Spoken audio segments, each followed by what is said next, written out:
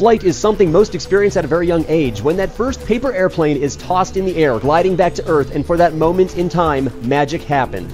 With the new Power Up module, your paper airplane stays flying under your inner child's control. Power Up is a carbon fiber based control and power module for paper airplanes that allows pilots to fly the plane from an iOS smart device. Onboard the controller is a Bluetooth module with a range of about 180 feet, providing precision control to turn, bank, dive, and climb the airplane using a simple throttle on the application and by tilting the smart device. The application uses an artificial horizon, much like an actual instrument flight rule on a real aircraft, and displays flight control information complete with a compass, range, thrust level, and fuel. The lithium polymer battery on the Power Up will last for a 10 minute flight and is quickly recharged through a micro USB connection.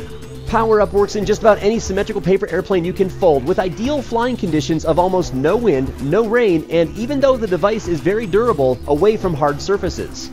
Power Up is looking at a June 2014 takeoff and will retail for just 50 bucks. I'm TK for TEKD.